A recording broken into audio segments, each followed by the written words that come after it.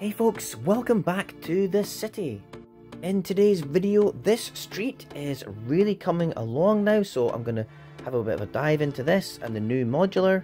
Last week I'd added the new Pandora jewellery store, which was a new MOC based on the donut shop from the modular police station and I had a wee 6 stud wide gap next to it to fill in and I always had the idea of doing a staircase there which would join onto a bridge behind and then further into the back of the city. So that's exactly what I did.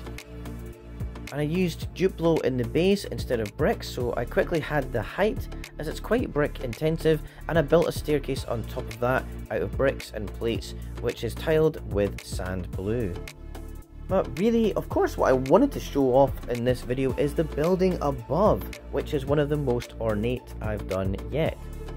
And from above, it really stands out in this row of rooftops with its very narrow sand green tiled roof. Side by side, they couldn't be more different in style really, but I think they complement each other very well, and they're quite different in colour, which really makes it contrast and stand out. This narrow building is meant to be an apartment and you might notice there's no door on either side. so how do you get in? Well, I imagine there's a shared entrance in the building next door or something. it doesn't really matter.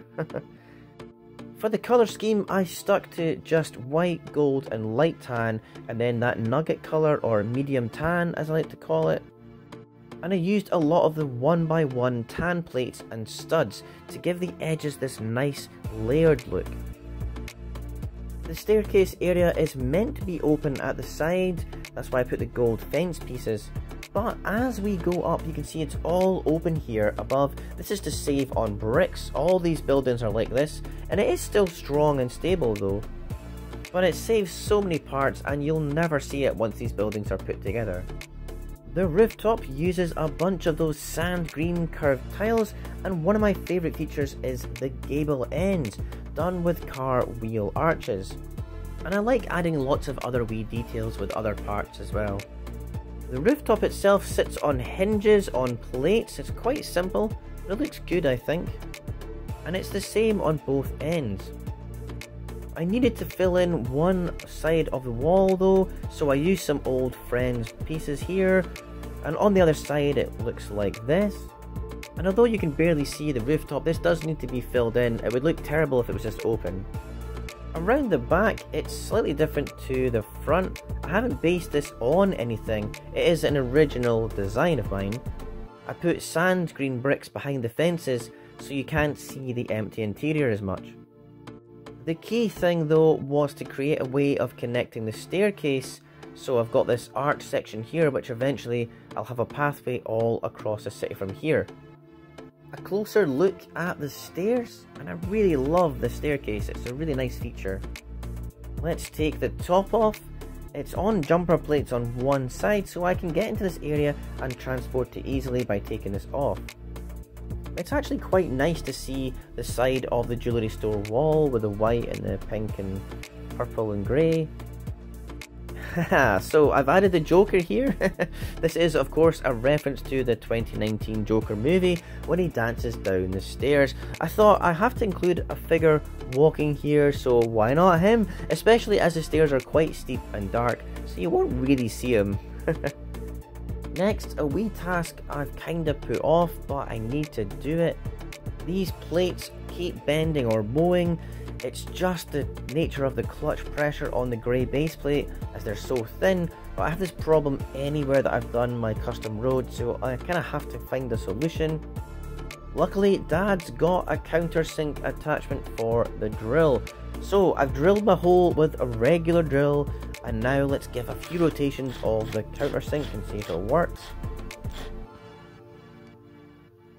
I'll try these screws out now. And yes, the countersink works and I'm able to put the plates on top. It's actually flush. The problem on this bit though is there's no wood underneath here, so it just sort of flops about, but I'll fix that. Anyways, I moved on to this bit at the front. It's such a difference, it's totally flat.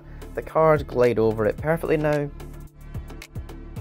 So I'm going to do all this remaining section. I did have a lot of misgivings really about drilling into Lego, but it's a necessity really as it looks terrible and these base plates are always going to be here. Even when I go to brick conventions they'll be used. And of course they're screws so they can be screwed in and out easy enough. But whilst I'm doing this I'm going to also do my pavement or sidewalk drains, a simple grill on a plate covered with a 1x4 tile. And I've spaced these out of my road so I have three of those 1x4 masonry bricks making up the side of the road and every third brick I put one uh, drain. And I've also put a clear tile on a few instead to represent water which is a nice touch. And once I drill this last bit in, this section of road and pavement will pretty much be done. So the next thing to do in the city is to focus on completing this street. It's going to be all original Dutch style narrow tall modulars, so still quite a few to do. On the left I'm working on a laundry which is using the soap suds build from the brick bank and I'm going to build a custom donut shop next to it using the tiny donut section from the police station modular. So I'm quite excited about getting that done. And then on the right side of this building between this and the Sanctum Sanctorum, I'm going to do a 16 stud wide bakery, which will also be a cafe. But on top, I will make it two 8 stud wide buildings, which will look quite different to each other. So still having those tall, narrow buildings, but the building underneath will be one larger kind of cafe. I've not figured out how much I've spent on all this, so I'm going to sit down this week and update my spreadsheet and count the bricks as well. It's not a huge increase, I'm roughly sitting at about £2,500 spent on LEGO so far. Anyways, thanks so much for watching and I'll catch you in the next video which will be the laundry and donut shop. Bye!